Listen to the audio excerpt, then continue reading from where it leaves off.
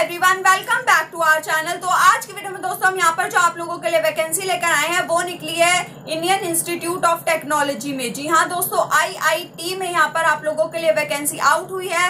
अगर आप यहाँ पर मेल है फीमेल है फ्रेशर्स है तो आप इस वैकेंसी को अप्लाई कर सकते हैं। ये पक्की सरकारी नौकरी है। तो आइए दोस्तों शुरू करते हैं। कौन कौन सी वैकेंसी है, कैसे आपको अप्लाई करना है, क्या एज क्राइटेरिया मांगा गया क्या एलिजिबिलिटी क्राइटेरिया मांगा गया क्या यहाँ पर आपको सैलरी प्रोवाइड की जाएगी, उससे पहले आप सभी लोग हमारी वीडियो को लाइक और हमारे चैनल को सब्सक्राइब करें।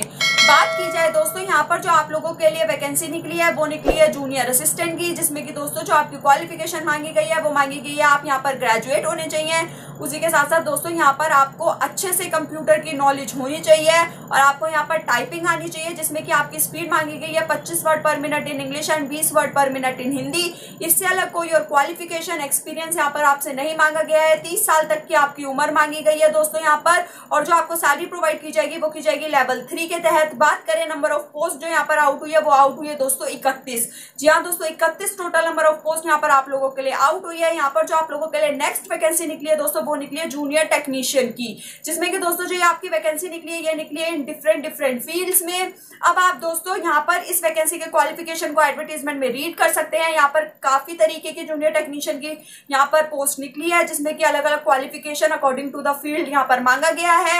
अब बात कर लेते हैं एज रिलैक्सेशन की तो दोस्तों अगर आप एस टी से तो पाँच साल का एज में आपको रिलैक्सेशन मिलेगा। ओबीसी से है तो तीन साल का आपको यहाँ पर एज में रिलैक्सेशन मिलेगा। अब बात कर लेते हैं दोस्तों की यहाँ पर आपको ये अप्लाई कैसे करना है। तो दोस्तों ये आपको ऑनलाइन अप्लाई करना है। एप्लीकेशन फॉर्म का लिंक आपको नीचे डिस्क्रिप्शन में दे दिया जाएगा। आपको जाना है लिंक पे क्लिक करना है। एप्लीकेशन फॉर्म को फिल कर देना है। एप्लीकेशन फॉर्म को बड़े ही ध्यान से फिल कीजिएगा।